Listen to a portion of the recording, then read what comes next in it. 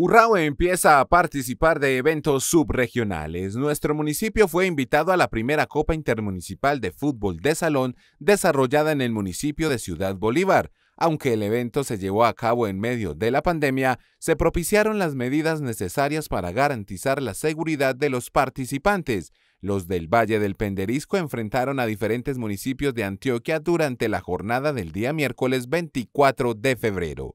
Algunos de los rivales fueron el Carmen de Atrato del departamento del Chocó, Salgar y Ciudad Bolívar del suroeste. Ante estos equipos, Urrao logró las victorias correspondientes para llegar a la instancia semifinal.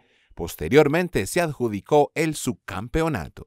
La participación de nuestros deportistas urraeños inicia a las 9 de la mañana con el municipio del Carmen de Atrato, donde el resultado nos favorece.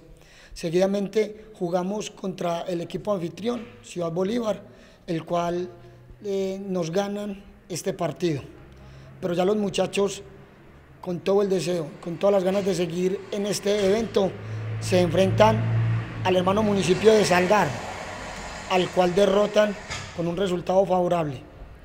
Ya pasando a la final, eh, nos enfrentamos a Ciudad Bolívar, el cual nos derrota en una final muy apretada pero que el resultado no se nos da.